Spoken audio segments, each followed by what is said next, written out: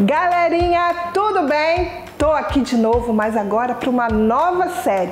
Mês de novembro tá incrível também. Tem a série que se chama Vale a Pena. Hum, que será que a gente vai falar nesse mês, hein? Tá preparado aí? Tem dinheirinho aí? Sabe administrar o seu dinheiro, guardar o dinheirinho, comprar as coisas que você quer, mas sabendo usar esse dinheirinho direito? Hum, a gente vai aprender isso esse mês. Mas antes, como sempre, a gente vai começar orando, falando com o nosso Deus. Preparou? Juntou as suas mãozinhas, fechou os seus olhinhos? Então vamos orar.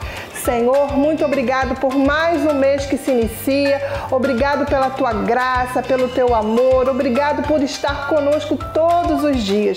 Abençoa a nossa vida, abençoa esse mês que está começando e que seja um mês incrível, cheio da tua doce e santa presença. Assim nós oramos e te agradecemos em nome de Jesus. Amém. Agora que, que a gente vai fazer? Eu já tô aqui, ó, me preparando para louvar, adorar o nosso Deus com os nossos louvores. Já tirou as cadeiras aí da sala? Já chamou a galera para louvar junto com você? Nosso Deus tem que ter o melhor louvor. Então, prepara aí, estica aí os braços, o esqueleto e vamos adorar ao nosso Deus.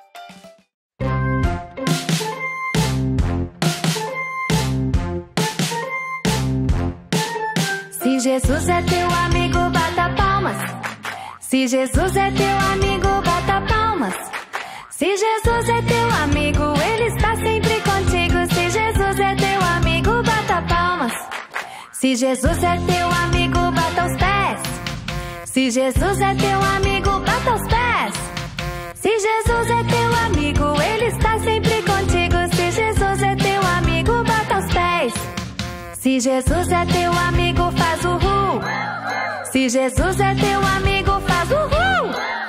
Se Jesus é teu amigo, ele está sempre contigo. Se Jesus é teu amigo, faz o ru. Se Jesus é teu amigo, faça os três. Se Jesus é teu amigo, faça os três. Se Jesus é teu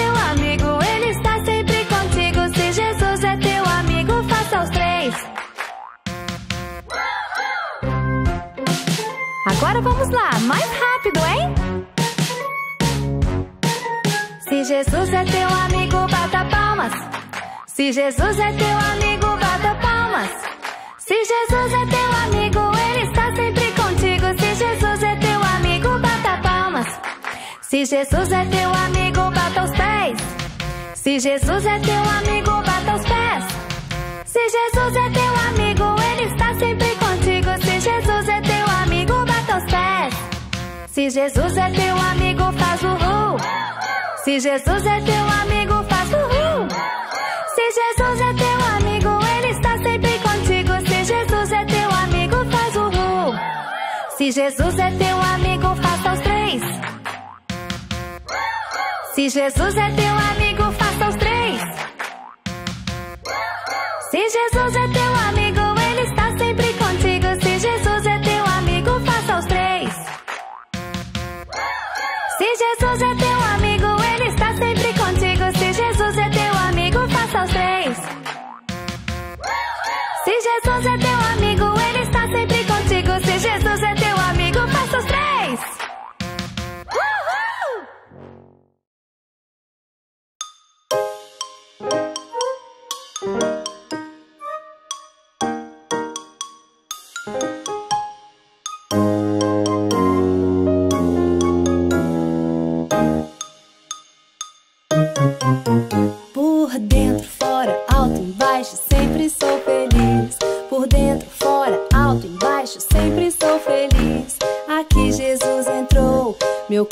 coração limpou. Por dentro, fora, alto, embaixo, sempre sou feliz. Por dentro, fora, alto, embaixo, sempre sou feliz. Por dentro, fora, alto, embaixo, sempre sou feliz.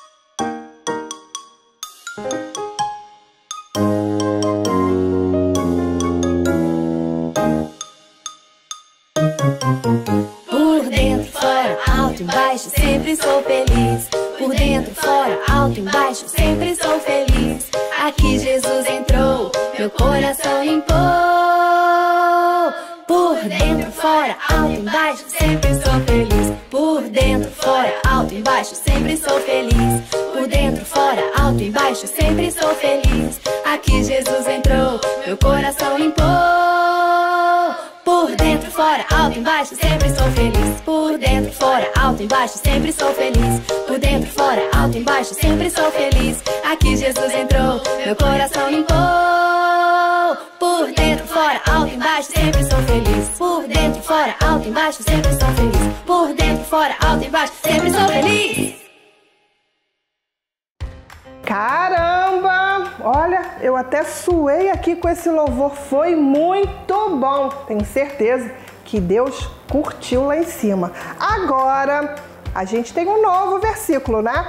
Todo mês a gente tem um versículo novo e esse mês não é diferente. Nosso versículo desse mês está lá no livro de Provérbios, no capítulo 13 e no versículo 11. Então, ó, vai aparecer na sua telinha esse versículo e você vai ler, estudar, porque a gente vai, ó, te perguntar depois se você sabe dizer qual é. Combinado?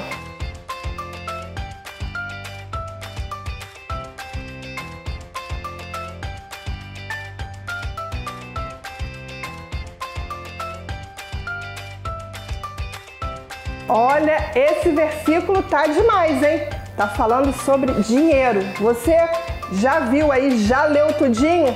Então vamos aprender direitinho esse versículo, porque agora o que, que a gente vai fazer? Vai tirar aquelas palavrinhas e você vai completar. Eu sei que ainda é o primeiro dia, que você ainda tá aí, ó, meio que decorando, mas ó, fica ligado porque as palavrinhas vão sair e você vai completar em casa. Hoje eu deixo você pedir ajuda, tá bom?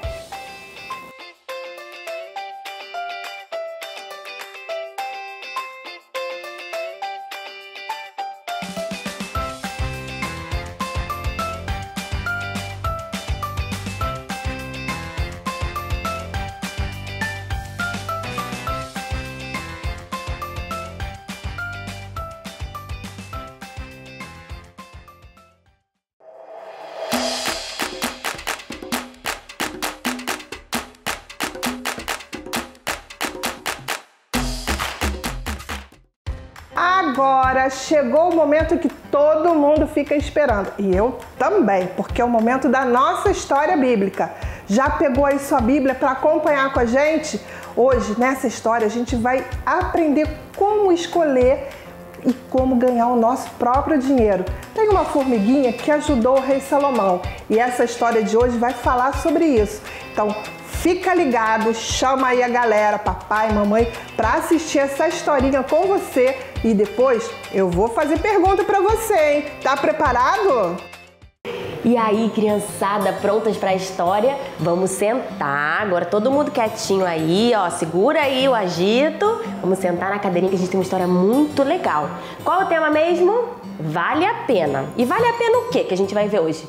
Vale a pena trabalhar duro. É, vale a pena trabalhar duro, a gente vai ver aqui. Será que você é preguiçoso? Hum, conta aí pra tia, você é preguiçoso?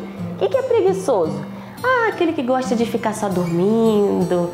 A mamãe fala: vem ajudar, ajuda a mamãe a arrumar a casa. Ah, não quero, não quero, daqui a pouco. Arruma o seu quarto, menino, arruma o seu quarto. Ah, não, mãe, agora não. Ó o preguiçoso aí. Será que você é preguiçoso? Ou você ajuda a mamãe e dá duro com a mamãe? Vamos ver aqui o que a gente aprende aqui na Bíblia sobre isso, hein? Ó, abre lá em Provérbios 6, de 6 a 9. Olha o que, que a gente vai aprender aqui. E olha com quem que a gente vai aprender, hein? Vou te falar que a gente vai aprender com um bichinho desse tamanho aqui. Quem será? Alguém consegue dizer? Vamos ver? Olha lá, ó. Preguiçoso, aprenda uma lição importante com as formigas. É, a gente tem muito a aprender até com a formiga, olha lá. Elas não têm líder, nem chefe e nem governador, mas guardam comida no verão, preparando-se para o inverno.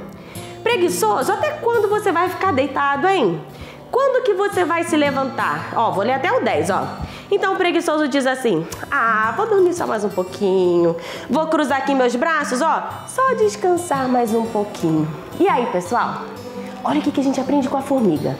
A formiga é um bichinho pequenininho, não é verdade? E sabe quem escreveu o provérbio? Salomão. Salomão provavelmente estava ali sentado, ó, só observando as formiguinhas trabalharem. Olha o que a gente pode aprender com a formiguinha. Primeiro, a formiguinha ela trabalha duro. Ela vai lá, ó. Vocês já viram uma formiguinha no chão? Ela bota aquela folha grandona, né? Porque ela é desse tamanho, a folha grandona, e ela vai levando lá pra casinha dela. Trabalhando, trabalhando, trabalhando, trabalhando. Então, primeira lição, elas trabalham duro. Segundo, elas não têm líder nem chefe. Elas não precisam de alguém que fique assim, vai formiga, leva comida, formiga, vai, trabalha duro. Não precisa da mamãe lá toda hora, arruma o quarto, me ajuda a lavar louça. A formiga, ela tem iniciativa própria. Ela trabalha, ela vai lá, ó, não precisa de líder nem chefe. Ela sabe que ela tem que fazer aquilo. E a terceira lição: guardam comida no verão, preparando para o inverno. Olha que interessante. Elas trabalham duro no verão. Trabalha, trabalha, trabalha, trabalha, comem e consomem pouquinho por quê? Porque elas sabem que no inverno é mais difícil de trabalhar. No inverno tem menos folhinha, então elas vão guardando, guardando, guardando e trabalhando duro no verão, porque no inverno elas vão ter comida. Então olha que interessante quanta coisa que a gente pode aprender com a formiga, hein? A gente aprendeu que vale a pena. Vale a pena trabalhar duro, vale a pena trabalhar por iniciativa própria. Chegar lá e falar assim: Mamãe, hoje eu vou te ajudar a arrumar o meu quarto, hoje eu vou te ajudar a lavar a louça. Pensa! Mamãe vai ficar feliz da vida. Outra coisa que a gente aprendeu com as formigas, que a gente, ó, precisa economizar. É, a gente precisa guardar para poder ter lá pro futuro. Às vezes a mamãe não dá um dinheirinho lá, ó, fala: "Olha, filho, esse dinheirinho aqui, né, a mesada. Vou te dar uma mesada aqui". Aí você fala: "Tá. Ah, vou gastar todo aqui meu dinheiro, vou comprar tudo nesse brinquedo". Será que vale a pena? Ou não é melhor você deixar aquele dinheirinho ali, usar só um pouquinho, guardar, depois usar só um pouquinho, guardar, juntar com outro mês que a mamãe vai te dar. Sabe o que a gente precisa fazer, pessoal? Orar. Quando você receber o seu dinheirinho, ora, fala, Senhor, me ajuda a usar esse dinheirinho com muita sabedoria. E o Senhor vai te dar sabedoria. E você vai saber quando usar, quando guardar, quando você tem que guardar um pouquinho mais, usar um pouquinho mais. Então, olha aqui, criançada, vale a pena trabalhar duro, hein? Dá uma olhadinha lá na formiga, fica aí o dever de casa. Vai lá e vê como é que as formigas trabalham duro para poder ter a comidinha delas durante todo o ano. Beleza? Beijo! Ai, agora eu quero fazer uma coisa com você. Você, aí de casa, já aceitou Jesus como Senhor e Salvador da sua vida? Não ouvi? Não? Ah, eu ouvi que você quer! Que legal! Uhul! Festa lá no céu! Sabe por quê? Porque Jesus se alegra quando alguém o recebe no seu coração como Senhor e Salvador da sua vida. Então, você que decidiu hoje escolher Jesus como Senhor e Salvador da sua vida, levanta sua mãozinha aí e faz essa oração juntinho comigo. Senhor Jesus, eu te recebo hoje, te aceito como Salvador da minha vida. Senhor, que tu venhas iluminar os meus caminhos, que a tua graça e o teu amor estejam sempre sobre mim, sobre a minha casa, sobre a minha família. Eu te recebo e te aceito hoje, Pai. Que a tua graça esteja sempre, sempre, sempre comigo. Em nome de Jesus eu oro. Amém. Galera, essa oração que você fez tem um telefone aparecendo aqui embaixo. Se você aceitou Jesus, fala pro papai ou pra mamãe mandar aqui, ó, nesse telefone, dizendo pra gente que você fez essa oração juntinho comigo. E aí a gente vai entrar em contato com você para te dar os parabéns. Combinado?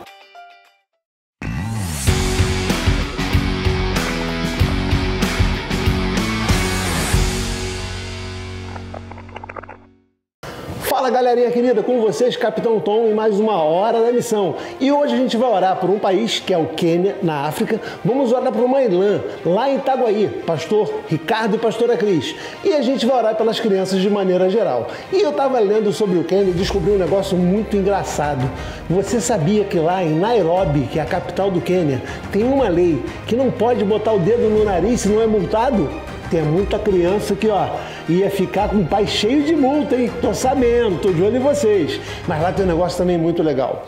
Lá tem um parque que é proteção para rinoceronte, para zebra, para elefante que não tem pai e mãe. É muito legal, girafinha pequena, vai tudo para aquele parque lá. É um lugar dos órfãos de animais. Olha que bacana que eles têm lá. E a gente vai orar por esse país que tem mais de 80% de cristãos.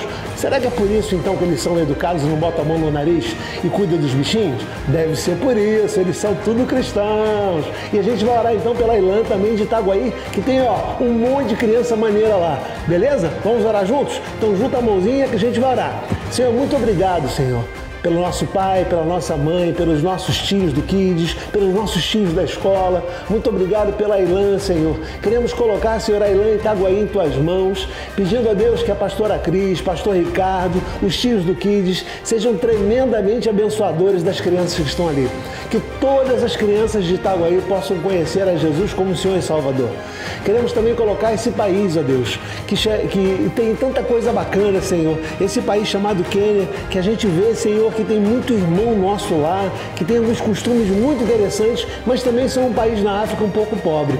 E a gente pede então, Senhor, que tu estejas estendendo a tua mão sobre eles. Que eles possam, Senhor, cada vez mais falar do teu nome, cada vez mais cuidar das crianças, cuidar da sociedade dali. E a gente possa, Senhor, a todo instante saber, Senhor, que a tua palavra está sendo pregada lá do outro lado do oceano. Colocamos todas as crianças em suas mãos. Pedimos pelos pais, pedimos pelos avós, pedimos pelos tios, pedimos pela escola das crianças, chegando agora no final do ano, que todo mundo possa aprender e passar de ano. Muito obrigado por tudo isso. Eu te oro em nome de Jesus. Amém. E olha, e você sabe que no finalzinho sempre tem uma missão. E a missão de hoje para você é o seguinte: amanhã esse domingo, é o primeiro domingo do mês. E você vai convidar um coleguinha para ir lá na Ilã tomar ceia com você. E você vai explicar. A ceia é quando a gente lembra que Jesus morreu por nós. Ele ama tanta gente que morreu pela gente. E aí então você vai chamar um coleguinha teu para ir lá. Eu quero ver, hein, ó. Quero ver o, o, o Kid lá cheio de criança. Quero ver o Kid chapado de gente, beleza? Confio em você. Missão dada, missão cumprida. Um beijo do Capitão Tom. Galerinha, chegamos ao final desse episódio. Tem muito mais aí no mês de novembro. Então, ó, fica ligado, compartilha o nosso vídeo, vai lá nas redes sociais, o Instagram tá bombando e você pode compartilhar aí com todos os seus amiguinhos. Vamos espalhar o amor de Jesus por onde a gente estiver. E ó, eu fico aqui, mas tem muito mais. Combinado? Beijo grande!